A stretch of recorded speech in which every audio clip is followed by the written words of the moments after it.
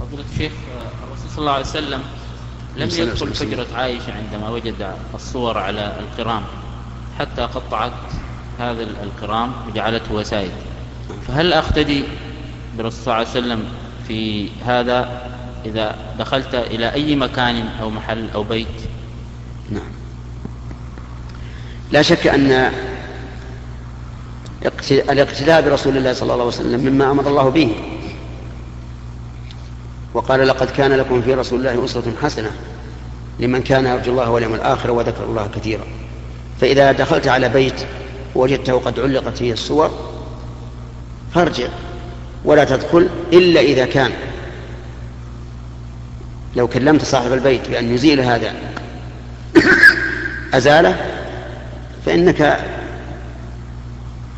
تأمره أو تطلب منه أن يزيله وتدخل. لأن في ذلك مصلحتين المصلحة الأولى إزالة هذا المنكر والمصلحة الثانية إتمام إجابتك للدعوة.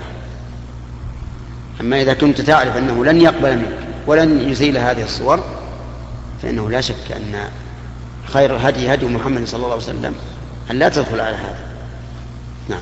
فضيلة الشيخ. ومثل ذلك أيضا ما يوجد في من صور العائلة أو أبي العائلة أو صور الملك أو صور الأمير أو صور الوزير أو ما أشبه ذلك مما يوجد معلقا في براويز. فإنك لا تدخل ما دام هذا الشيء معلقا حتى يزال.